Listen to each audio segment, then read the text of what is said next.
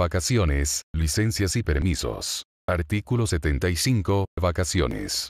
Los miembros de la carrera del Ministerio Público tendrán derecho a disfrutar de vacaciones remuneradas después de un trabajo continuo de un año, de conformidad con la escala siguiente. 1. Durante un mínimo de un año y hasta un máximo de 5 años, tendrán derecho a 15 días laborables de vacaciones, dentro del año calendario correspondiente. 2. Los servidores públicos que hayan trabajado más de 5 años y hasta 10 años tendrán derecho a 20 días laborables de vacaciones. 3. Los servidores que hayan laborado más de 10 años y hasta 15 años tendrán derecho a 25 días laborables de vacaciones. 4. Los empleados y funcionarios que hayan trabajado más de 15 años tendrán derecho a 30 días laborables de vacaciones. Artículo 76. Licencias.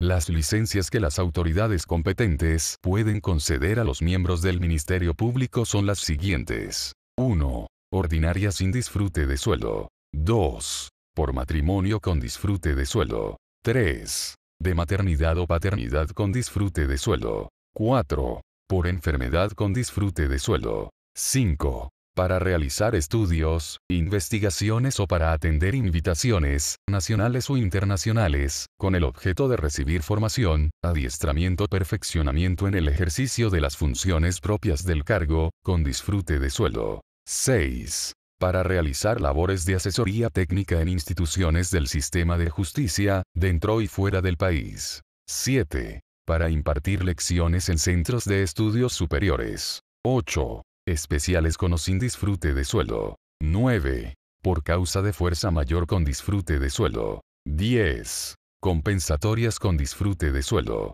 Párrafo, el Consejo Superior del Ministerio Público reglamentará las condiciones y trámites específicos para obtener las indicadas licencias. El uso de la licencia para realizar actividades diferentes a las aprobadas será considerado una falta gravísima. Artículo 77. Permisos de inasistencia. Los permisos de inasistencia al trabajo, por causa justificada, que no excedan de tres días, serán concedidos por el superior jerárquico inmediato del interesado. Para la inasistencia superior a tres días, se aplicará el régimen de las licencias. Muchas gracias por su visita, por favor suscríbase a nuestro canal, Balanza Legal.